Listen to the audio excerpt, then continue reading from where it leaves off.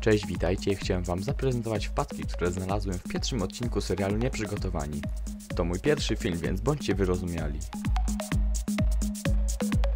Przejdźmy do pierwszej wpadki. Można ją zauważyć, kiedy Berkowski leży w łóżku, a w klamce odbija się ręka, której nie powinno tam być.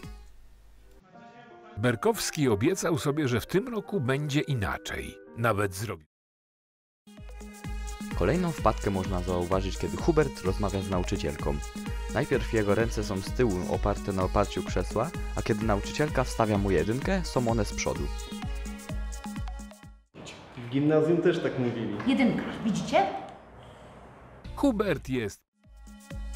Kolejną wpadkę możemy zauważyć, kiedy następuje przedstawienie Marioli. Kiedy lektor opowiada, co sądzi o rodzicach, w czymś na stoliku możemy zobaczyć odbicie operatora. Na razie ich nienawidzi. Proszę, córciu. Nie będę brała twoich kapitalistycznych pieniędzy. Kolejną wpadkę widzimy, kiedy Hubert, Mariola i Maja wchodzą do łazienki. Kiedy siadają na parapecie, za plecami Marioli możemy zobaczyć czerwoną lampkę od kamery. U, nie wiem, miałam chyba jakąś zajawkę na prymitywnych. Kolejną wpadkę możemy zobaczyć, kiedy jest impreza u Berkowskiego.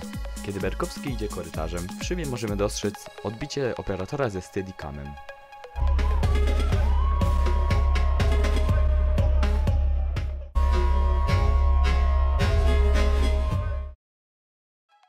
Przedostatnią wpadkę widzimy, kiedy Agata całuje Berkowskiego.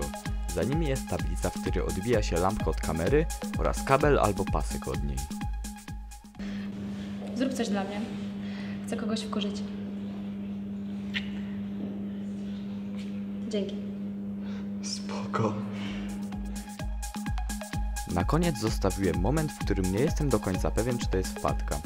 Mianowicie w drzwiach odbija się cień.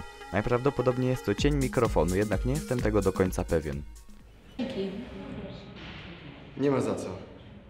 Fajnie? Spoko. Fajnie?